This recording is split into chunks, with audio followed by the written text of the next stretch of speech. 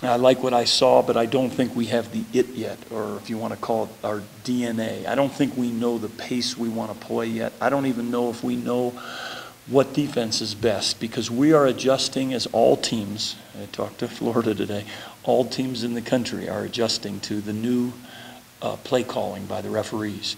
And uh, it's going to make for a lot of free throws, and there's a lot of people out there, I'm not going to mention names, uh, bragging about the fact that if you weren't there Friday, you're not going to get a, a charge Saturday, and making jokes like that. And, I- and I feel bad that those are the types of jokes that are being made nationally about our game that I love.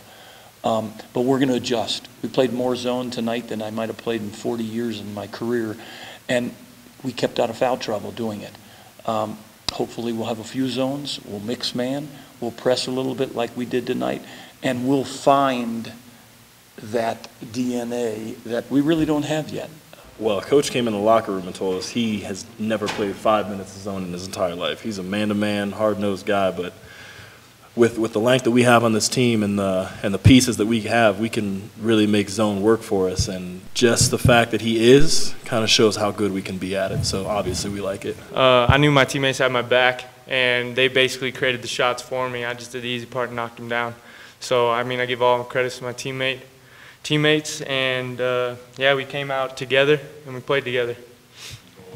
Um, I think it's when we started uh, started to guard, started to get down and get stops, and then which led to some transition, easy buckets, drives, get to the foul line. So, I mean, overall, great game from these guys. I'm proud of these guys.